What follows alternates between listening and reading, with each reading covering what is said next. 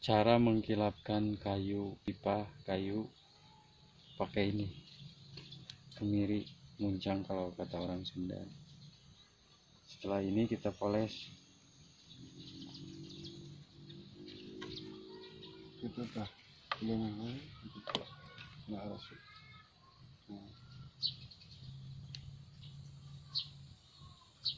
Beda jadi gitu.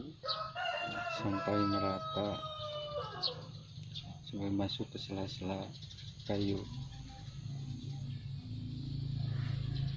Kalau kurang tambah lagi. Kalau kurang tambah lagi terus. Kita poles pakai ini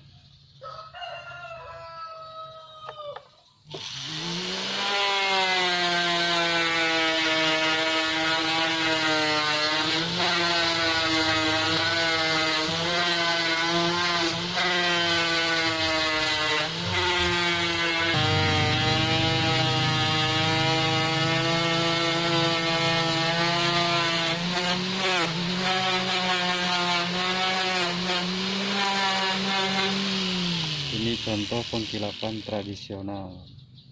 Pakai rempah-rempah dari dapur